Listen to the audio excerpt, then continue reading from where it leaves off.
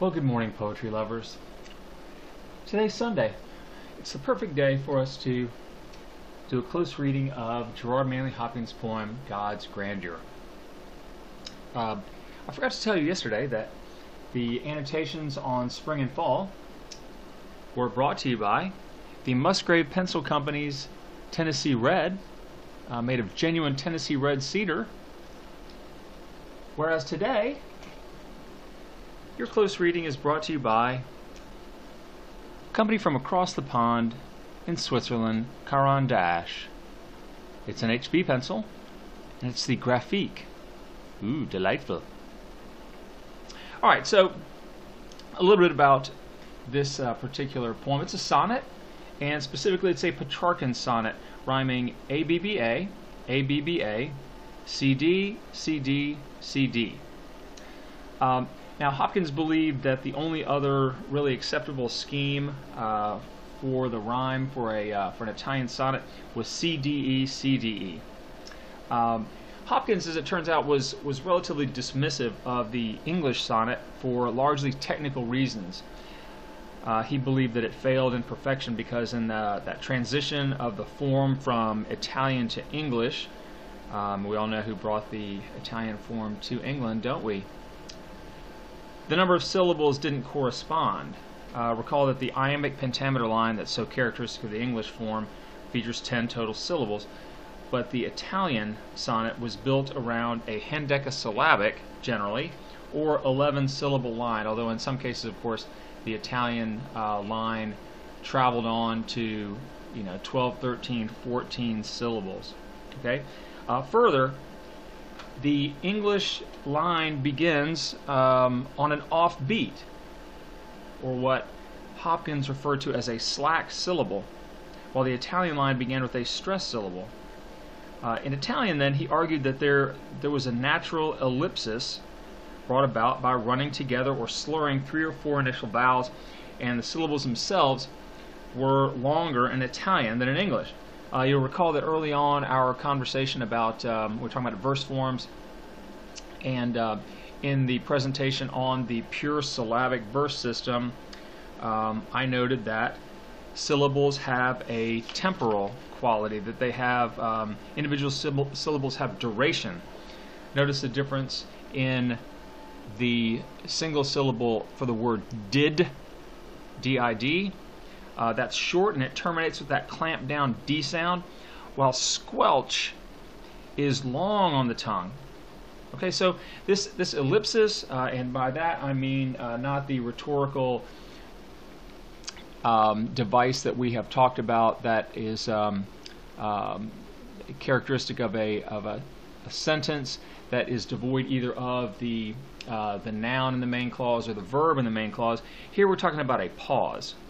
And so in, in um, Hopkins' mind, this pause acts as would a counter move in jumping up. So if I ask you to jump as high as you can, uh, perhaps to touch the rim on a basketball goal, or you know, in my case, maybe uh, scrape the bottom of the net, um, you would probably bend down, gather yourself uh, in a crouching uh, position, and then spring upward.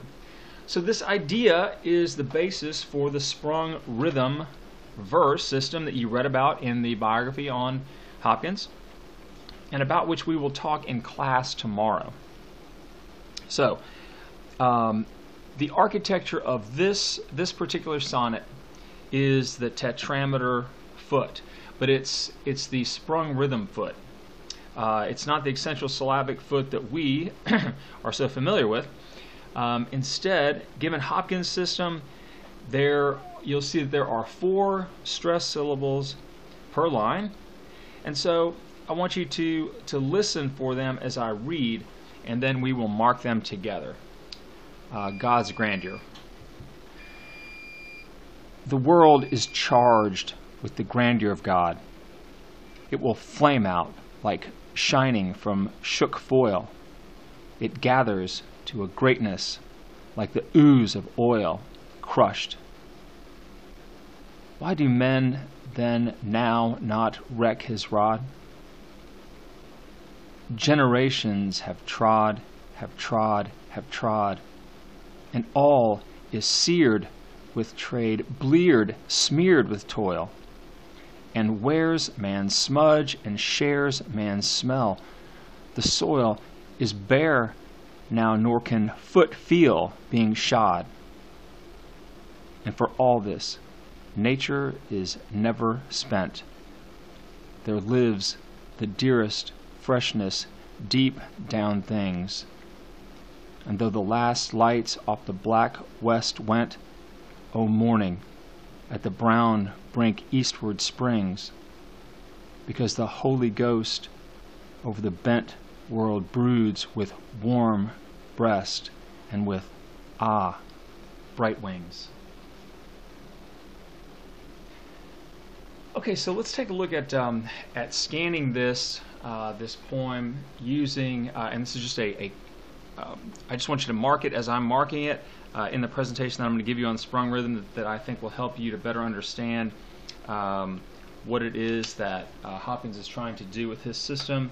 I just want you to mark it as I'm marking it. Okay, so um, I've marked over here on the left the number of syllables per line, and you've got basically 10 beats per line, except you've got 12 in the third line. Okay, now he's using this, I think, to, to create some slackness before he builds us into his fundamental question, which is why don't men listen to what he says, what God says, or follow his rules? Okay, so if we're marking it, then we're going to do this.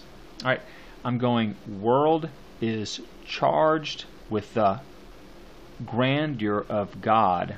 Okay, so you'll see that this is this operates almost like an iambic foot here, an iambic foot here, and then what is that?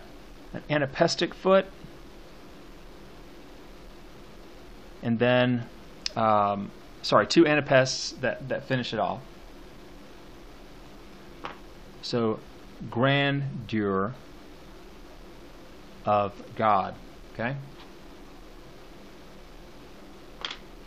It will Anapestic foot is what starts. See how it gathers itself? Flame out like shining from shook foil. It gathers to uh, greatness. And note, note there's an outride here. Okay, so you, I want you to mark this with a little uh, trophy looking line like that. See it? Okay, that's an outride. What it does is that when in one of his feet, when there is a um, when there's more than uh, two syllables that follow the stress syllable, then he marks it with this um, with this outride. You'll remember I said a, a, moment ago in the introduction to this poem, um, the the sort of compression, the slurring of syllables, the gathering as we get to the point. Okay, the stress syllable here. Okay, so greatness and then we have an outride here, like the ooze of oil. And then the word here, you'd think that the word crushed, and I may have uh, given it too much uh, emphasis when I read it, but the word crushed here doesn't receive the uh, doesn't receive a beat, even though it's the the point of the ooze of oil being crushed. Because as you know from your note, we're talking about uh, the crushing of olives to make olive oil. Okay? Um, and so uh, we'll, we'll get back to that in a minute. Why do men, so we got that outride, crushed follows over to why do men then now not reck or listen to his rod or rules? These are the these are the fundamentally important things that he's trying to, uh, he's accentuating here in this line. Generations have trod, have trod, have trod. And all, okay, all, and then we have these words that, that look at this internal rhyme, it's marvelous. Seared with trade, bleared, smeared with toil, and wears man's smudge and shares man's smell the soil is bare now, nor can foot. So bare gets the stress. We've got an outride here. Foot gets stressed, feel gets stressed, and shod gets stressed. Okay? And for all this, nature is never spent. There lives the dearest freshness. And we have an outride here. Oh, sorry, we don't. Um, deep is, is stressed, but then these two are, are, are an offbeat down things. And though, okay? We got the outride here between and and though. The last lights off the black west went, oh, morning. Stress on the first syllable in morning. The brown brink eastward springs because the holy, first syllable and holy, ghost over the bent world broods with warm breast and with and then here's that we, we accentuate that word because this is the, the moment of epiphany and he's um, uh, in celebration of the, the Holy Ghost that we uh, most often see um, represented as as a dove yes Okay, so there's the scansion of it. Um, I, I, I, suppose I don't really need to do this for you. Um, you know, because I've already said that we're talking about the the A B B A A B B A that is so typical of the Petrarchan or Italian sonnet. Uh, spent then is your. I'm going to put it over here, even though it kind of bugs me. Uh, the the C line then things is your D line, went is your C, springs is your D, bent is your C, and then wings, of course, is your D line. Okay, so we're, we're now going to look at a, at a number of different things. Um, we're going to look at word choice. We're going to look at acoustics. Um, one thing that I'm going to uh, I'm going to point out, and, and it's going to be uh, I'll really emphasize this tomorrow when we talk about pied beauty.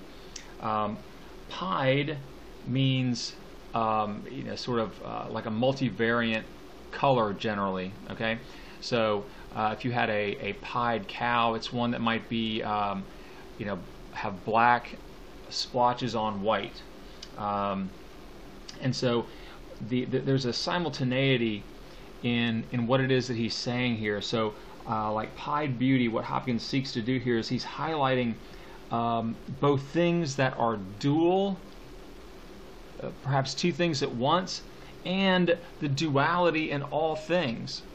Okay? So, let's take a look then at, at some examples of it. Um, and I'll, I'll mark uh, some of the um, some of the acoustics here. Of course, we have grandeur and God. So, you know, this is uh, you know the alliteration that we have. Probably ask you a question about that, of course. Um, so the world is charged. Let's take a look at that word charged, right? If the world is charged with the grandeur of God, well, charge can mean two things then. Um, one, it's electrified by. All right, electrified by, but it is also then commanded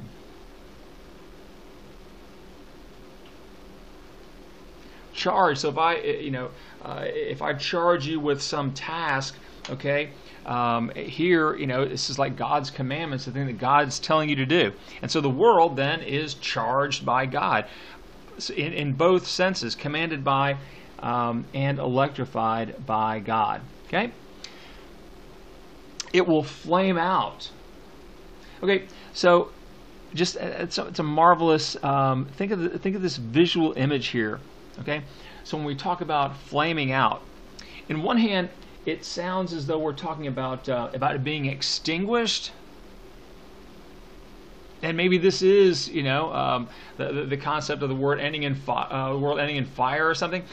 But but it's also by flaming out means that it uh, it radiates. Okay, it's casting light. Like, and so we have this the nice simile here. Yes.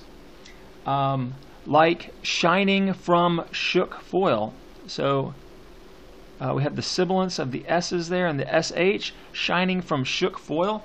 And so remember, we, we talked about what a foil is, that um, it's the uh, it's the, the, the, sort of pressed down and rolled out uh, like tin foil or gold foil or any of the kind of metals that are that are bright that allow uh, when light shines on them. We talked about the foil with respect to jewelry making and uh, jewelry display, that it allows light to go through the through the gemstone. So uh, you know diamonds in particular, since they have lots of facets cut into them, the light goes through the uh, through the diamond, and then it's reflected back off of the foil that's behind it.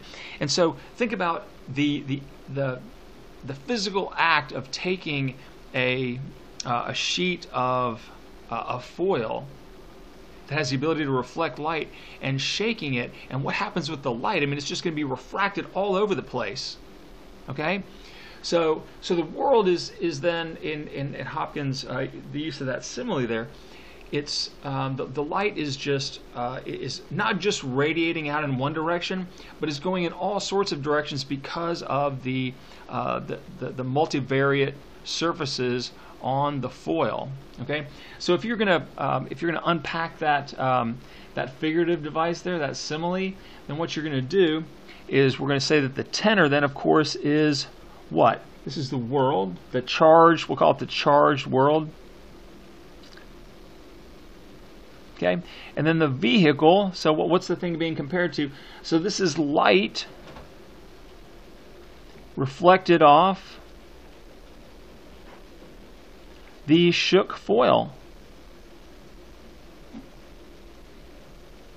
Right, the light being reflected off the shook foil. And so then the ground, of course, is is is something that is is able to reflect and cast light off in, in, in a variety of directions simultaneously, okay?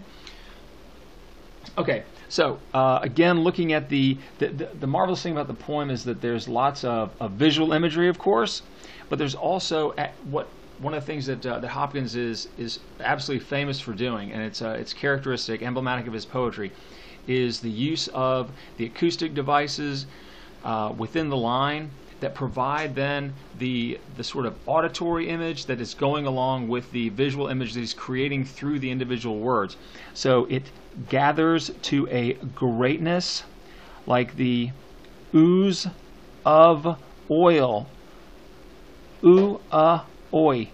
So the, those those uh, it, it's as though the, the those syllables are being compressed, okay, into the word crush that shows up next. So something that oozes goes slowly. Yes? All right. So then this is all with, with this offbeat syllable here, crushed. And it's almost as though the speaker himself is crushed by the idea. Okay, the speaker is a Jesuit priest. He's, he's crushed by the idea of, of men not following God's word. Why do men then now not reck his rod? So look at all those ends. So we have the then, now, not. All right, so that's consonants. All right, probably going to ask you a question about that. The consonants and those ends there, and then the R of reck his rod. It's almost like he's growling at us, is it not? Okay, then here, generations have trod, have trod, have trod. You can hear the, this is the, um, uh, it, it's sort of this, uh, the, the sound of footsteps, but it's plodding footsteps, okay? That, that they're not lively, they're not excited or active. It's, it's drudgery, they are trudging through the world.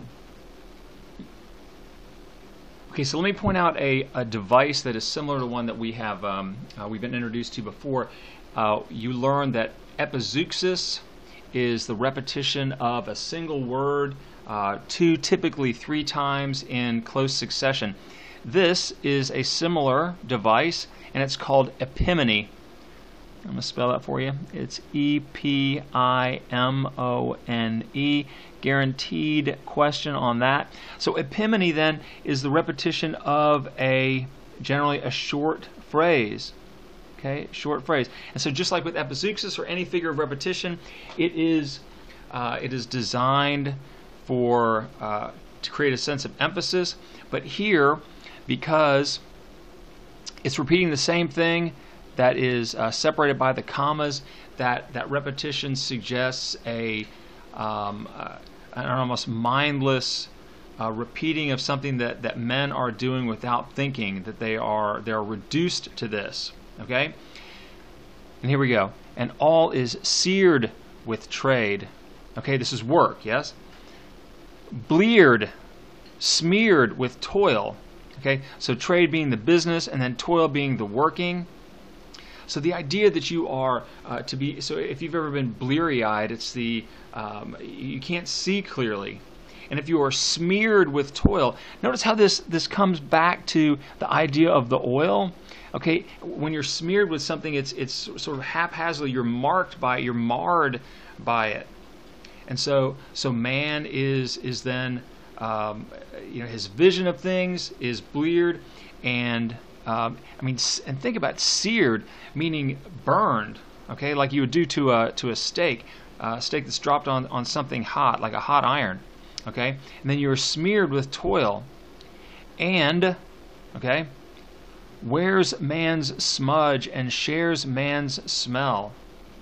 I mean, he, he although he's a man himself, of course, uh, because we are men, we are flawed, and and that that implicit comparison between man and God is is what he is all about here. Remember, I talked to you about the idea of pi, the things that are there's that duality, and so if God is supposed to be part of of men because we have not followed his rules, God is out of us, is what uh, Hopkins is arguing here and wears man's smudge? So it's, it's the world, by the way. Okay, right? The, the, the world is the subject for all this mess that's happening. And it's seared with these things. And wears man's smudge? Because a smudge is something dirty. And shares man's smell, which, okay, I mean, that's, that's not complimentary. So we have the implied olfactory. Uh, nice question there. So the implied olfactory image. The soil is bare now I mean, devoid of life, nor can foot feel, the alliteration of the F, foot feel being shod. So we, we've lost touch with nature. And, and this is, look, uh, Hopkins is, is, the, is the bridge between the, the Romantic period, um, well, really the Victorian period, and, uh, and modernism. Okay, his poems didn't weren't first published until 1918, and this is decades after his death um, early anthologies had him placed in the modern era because that first collection of poems uh, that were that were published by his friend Bridges uh, didn't make an appearance in, until you know the second decade of the 20th century. But he is a Victorian, and we have to treat him as one because he is so. Um, his work and his sensibilities are informed by the Victorian era, and, and we'll talk about the Victorian era being somewhat repressive uh, overall. But but here um, he still retains that certain uh, the, the, the, romanticism. Uh, I mean, he wrote early poems in you know in the in the, the mode of, of Keats and the other romantic poets, and so this is um, uh, this is very much a romantic image uh, or, or, or, emblematic of a romantic sensibility. Okay, so. Um, and for all this, N nature is never, so we got that uh, alliteration, is never spent Okay, so spent here uh, means two things. One is tired, and the other is used up. Okay? Tired or used up. There lives, and, and, and notice in the, in the sestet here, there's this turning that the tone seems, uh, it's changed. I mean, so the we know the volta has occurred here okay, as it generally does in the ninth line for the Italian sonnet. And for all this, okay, despite all this, nature is never spent. There lives the dearest freshness deep down things. Look at those nice D's, okay? The alliteration of the dearest freshness deep down things. And then here with this outride, and though the last lights off the black west went, oh, morning, at the brown brink eastward springs. So that's just marvelous sense of action that's happening here. Because, and, and he's got like a baby turn here that, that's um, that's a little bit reminiscent of, of what happens in the English sonnet. Why does all this happen? because the Holy Ghost over the bent world, bent but not broken, okay? There's still the promise of God here. Um, uh, the, the, the Trinity. And so he's going to make that manifest here in this last line. Over the bent, not broken, bent world, broods. Look at this. Look at the combination of the sounds here. WBR, world broods, warm breast, and then the inversion here at the end. Look at that.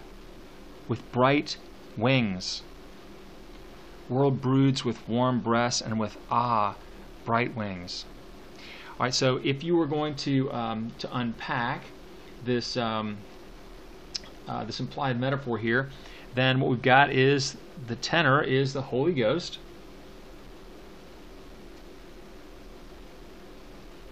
Yep, I'll move that up so you can see a little bit better.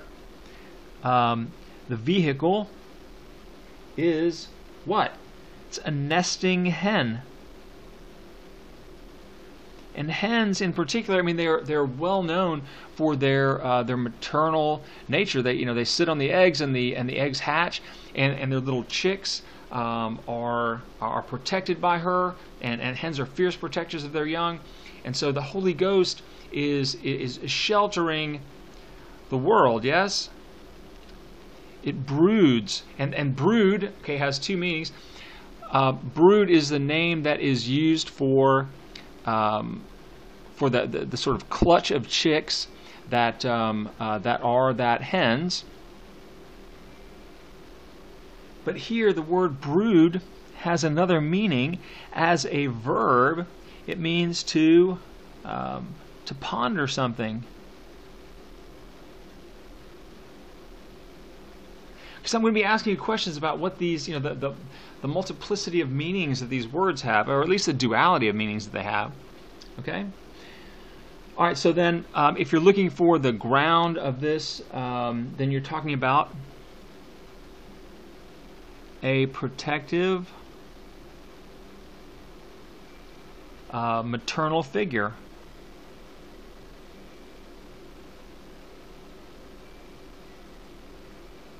And as you as we have already talked about, the, the Holy Spirit is often uh, portrayed as being um, as being a bird, but but normally a dove, you know, a sign of peace and so forth. But to compare it then to um, to the nesting hen, and then the bright wings, okay, as the uh, as the Holy Spirit opens up to the world, uh, and again that that image of the dove now sort of um, comes in and and rather takes the place of the brood hen then we we, we end with this marvelous um, expression of deep emotion with the ah, bright wings. Okay? All right. So that's all I got for you today. And um, join me tomorrow for a couple more poems.